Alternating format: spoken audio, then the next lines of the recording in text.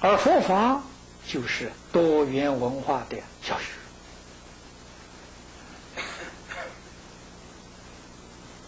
释迦牟尼佛当年在世的时候，那个时候的社会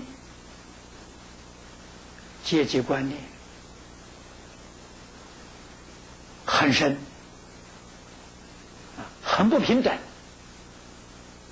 宗教更是复杂。经典里面常讲九十六种啊。比我们现在这个社会复杂多了。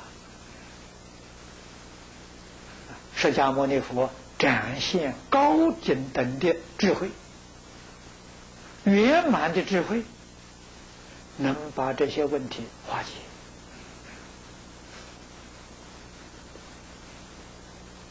令一切众生互相尊重。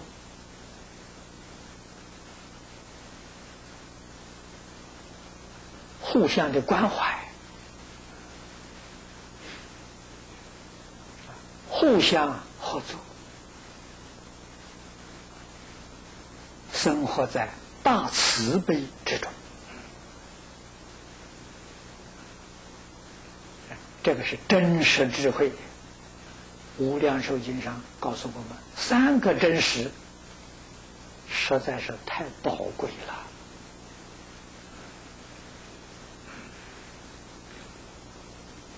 这三个真实，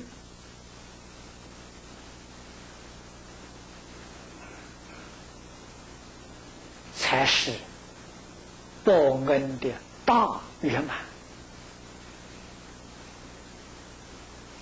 开花显示真舍之际，这一句话，要用我们现前浅显的话来说。就是我们自己本身要做一个好样子，给社会大众看，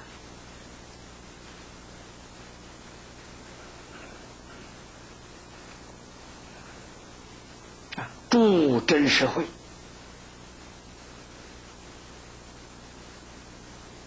生活在高度智慧之中，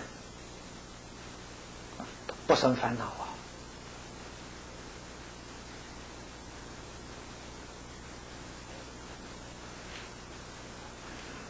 凡夫的生活是烦恼的生活，忧虑的生活，困惑的生活；佛菩萨的生活是智慧的生活，自在的生活，啊，快乐的生活。我们要能理解，要知道如何学习。邪是真实之际，就是我们起心动念。言语造作要与性德相应，真实之际是性德，真如本性那么真如本性是什么？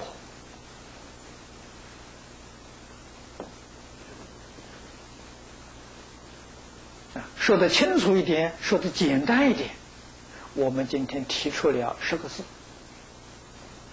真诚、清净、平等、正觉、慈悲，那就是真实之境。我们的起心动念、一切作为，与这十个字是不是相应？果然相应，你就是显示真实之境。唯有显示真实之际，才是真正帮助众生啊，惠于真实之力呀！给众生真正的利益了，真正的好处啊，是要我们自己做的相应。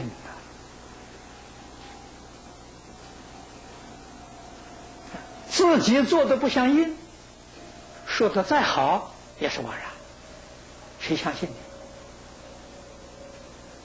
你？你说到，你要做到才行。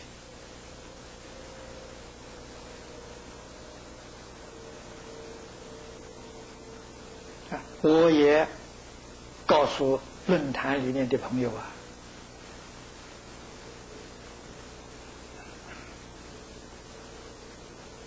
今天来提倡、来弘扬、来推广多元文化，那是佛菩萨的事业，我们怎么不关心呢？